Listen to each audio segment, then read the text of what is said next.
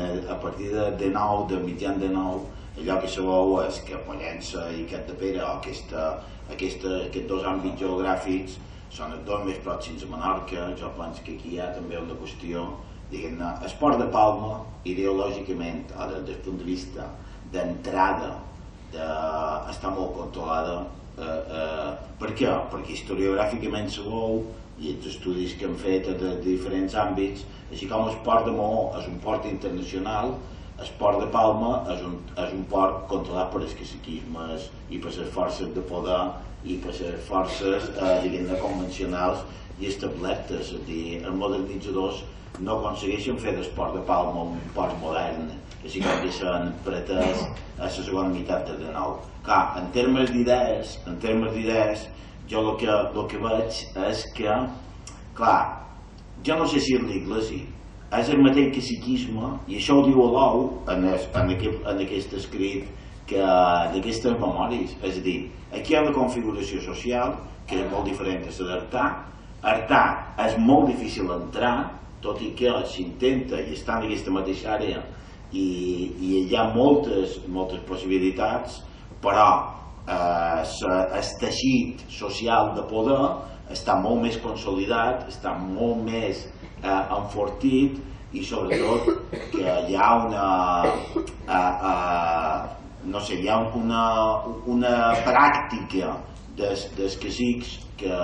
que no és vulnerable. I en canvi eh, jo el que veig a la societat eh, gabarina és que no, és, una,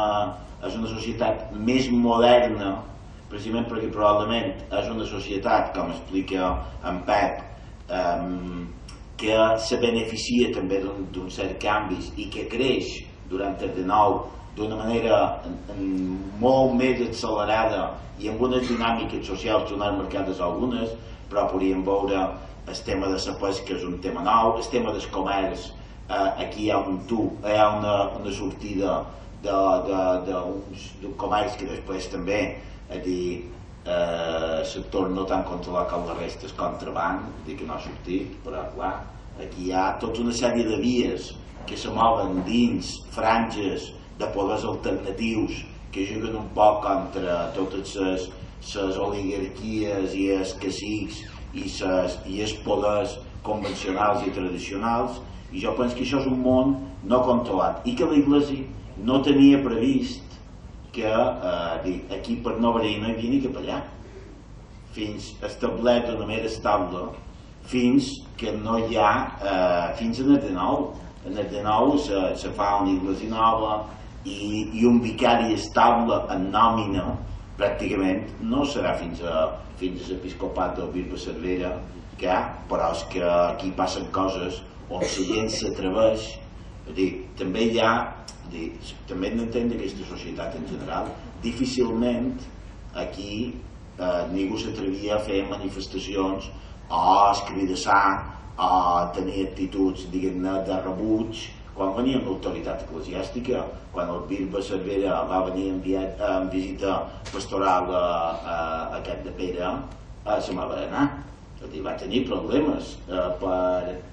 fins i tot dins el temple va tenir oposició, el qual vol dir que aquí hi havia un clima social molt viu, que no és,